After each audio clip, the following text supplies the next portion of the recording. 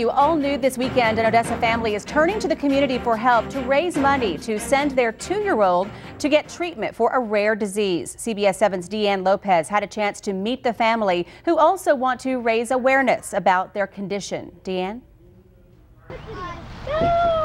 Meet Colton and Kaysen Christopher. At just two months, these adorable boys were diagnosed with mastocytosis.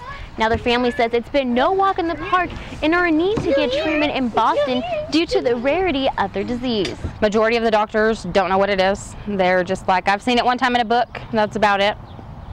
So we did find a doctor in Midland. He's great with them. He knows exactly what it is. And he's sending us to Boston for bone marrow biopsies. Colton and Kaysen are like any other two-year-olds, full of energy and life. The only difference is their number of mast cell counts. A normal person's mast cell count is around 11.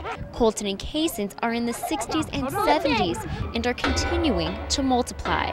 Their mother, Tiffany, says besides having to deal with a number of health side effects, she says taking the boys out in public is another mission in itself. It's very difficult um, going to public places, We've been asked to leave numerous places because people think they are contagious, and they are not. I cannot stress that enough. They are not contagious. The boy's big brother, Camden, is always the first to let people know what his little brothers have.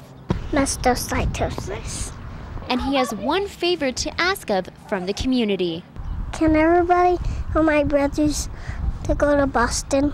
Now, there are a number of ways that the community can help the Christopher boys get to Boston to get the treatment that they need.